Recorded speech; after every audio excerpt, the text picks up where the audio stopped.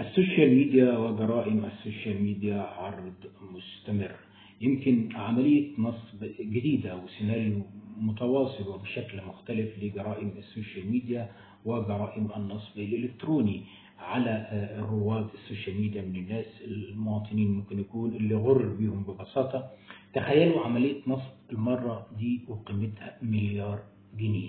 مليار جنيه يعني ألف مليون جنيه قدرت المتهمين إن هم يحصلوا عليهم من عدد ضحايا تجاوز أو تقريبا حوالي 2000 ضحية. 2000 ضحية ومليار جنيه؟ لا القصة يبدو ان وراها قصة كبيرة جدا.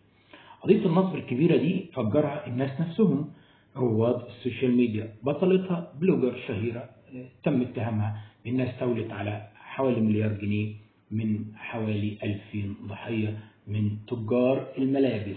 بأحد البراندات العالمية على صفحة عن الموضة القضية بدأت ببساطة لما مجموعة من الفتيات راحوا اتهموا بلوجر اسمها سلمى الغزولي وأخوها اللي اسمه محمد وواحدة ثالثة اتهموها اسمها خلود ودي صاحبة شركة شحن اتهموهم هم الثلاثة بالنصب عليهم في مبلغ مالي قدره 10 مليون جنيه. بعد ما قالت لهم إن هي بتعمل في مجال بتعمل في مجال الملابس الخاصة بماركة ان العالمية عن طريق إعلانات روجت ليها على صفحات ناس بلوجر شهيرة جدا في مصر عشان تاخد من مصداقيتهم وشعبيتهم وانتشارهم بين الناس. وقالت إن هي هتديهم خصومات على ملابس من كل المنتجات وعن طريق إن هي تحويل الأموال من خلال فودافون كاش ولا التحويلات البنكية ولا إنستا باي ولا غيره البنات دي حكوا القصة دي وراحوا حرروا محاضر في قسم شرطة أشمون في محافظة المنوفية وبلغوا في مباحث الأموال العامة واتهموا هذه الفتاة ال blogger الشهيرة المعروفة بالنصب عليهم عبر مواقع التواصل الاجتماعي فيسبوك وإنستجرام وقالت إن هو كان بيتم عملية النصب من خلال صفحتها واللي كان بتدعي إن هي بتشتغل في مجال الملابس ومنتجات شي إن وإن عندها القدرة عشان تعمل خصومات كبيرة جدا من خلال كوبونات خصم مباشر وده خلى الناس تثق فيها ويتواصلوا معاها ويطلبوا المنتجات وبالتأكيد يدفعوا كل هذه الأموال الطائلة. الأجهزة الأمنية ألقت القبض على البلوجر سلمى الغزولي وأخوها محمد في أحد الأكمنة اللي كانت معدة سلفا بعد هذه البلاغات في محافظة القاهرة بعد ما كترت البلاغات قوي ضدهم وضد صاحبة ال brand أو صاحبة شركة الشحن اللي اسمها خلود الصاوي. وتم اتهامهم بالاشتراك مع ال blogger الشهيرة في النصب عليهم والاستيلاء على أموالهم وبالفعل تم ترحيل سلمى الغزولي وأخوها لمحافظة المنوفية عشان البلاغات الكتير جدا المتقدمة في مركز شرطة أشمون وبالفعل تم التحقيق معها وأمرت النيابة بحبسهم على ذمة التحقيقات طلبت كمان النيابة تحريات مباحث الأموال العامة والمباحث الجنائية حوالين الواقعة رغم إصرار البلوجر وأخوها على إنهم ما نصبوش على حد. أنا مش عارف مليار جنيه و2000 ضحية وتقولوا ما نصبتوش. أنا ما شفتش صراحة المداحة قد كده. المحامية نهى الجندي اللي شغالة في الدفاع عن عدد كبير من الضحايا. قالت إن عندها 13 فتاة من إجمالي 1000 ضحية. تواصلوا معاها ضمن الضحايا سلمى الغزولي وطلبوا إنها تدافع عنهم بعد ما اشترت المتهمة صفحة عليها عدد كبير من الناس المتابعين راحت عملت نصب جامدة جدا راحت اشترت صفحة بمحتواها عشان تاخد الناس اللي على هذه الصفحة واستغلت صفحات ناس بلوجر كتير جدا مشهورين في مصر عشان تعلن عن منتجاتها عبر مواقع التواصل الاجتماعي اللي موجودة على موبايلاتنا كلنا. وقالت المحامية إن المبالغ اللي دفعها موكليها لسلمى الغزولي تجاوزت العشرة مليون جنيه من أصل المليار اللي إحنا قلنا عليهم واللي دفعها الضحايا. وقالت إن عندها ناس كتير جدا في الدول العربية يعني بنتكلم دلوقتي في مصر ده ده لسه كمان الموضوع كبر قوي وموجود في بعض الدول العربية اللي هو برضه هتتولى الدفاع عنهم خلال الفترة اللي جاية.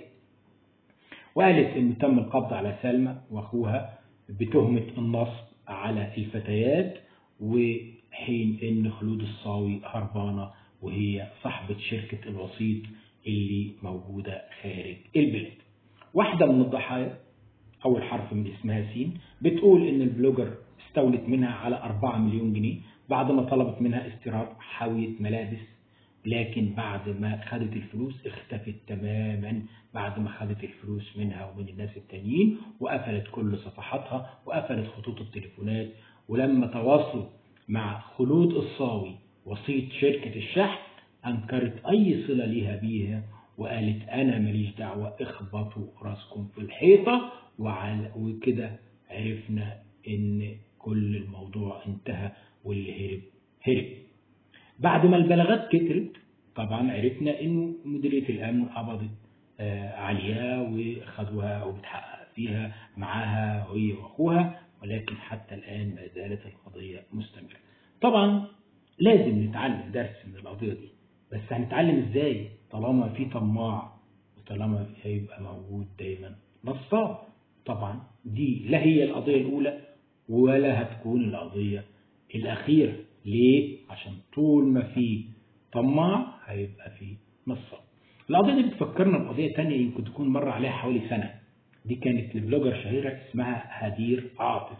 بلوجر دي برضو كانت شغالة في مجال الأزياء وتم القبض عليها هي وجوزها وشقيقة جوزها بتهمة النصب على المواطنين في تعاملات مالية بعد اتهام هدير وزوجها و شقيقة زوجها بالنصب والاحتيال على 16 شخص وحصلوا منهم على مبالغ مالية كبيرة جدا بإيهامهم بامتلاك مجموعة من الشركات تعمل في مجال السيارات والعقارات وتداول الأوراق المالية وقالوا لهم إن هم هيستثمروها ويحققوا لهم مبالغ وأرباح كبيرة جدا.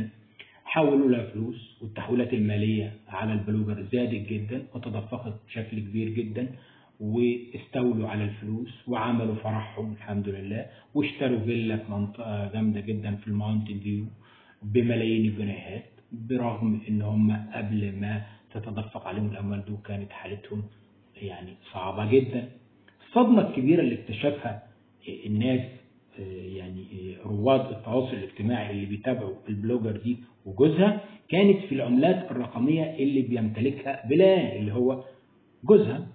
زوج هدير بلغت كام بقى العملات الرقمية؟ 354 مليون دولار. متخيلين؟ المبلغ 354 مليون دولار. ده خلى الناس كلها في ذهول من ضخامة المبلغ رغم بساطة الناس اللي جمعوا المبلغ ده.